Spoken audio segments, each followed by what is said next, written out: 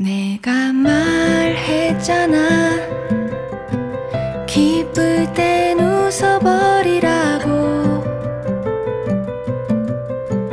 복사꽃 두 뺨이 활짝 필 때까지.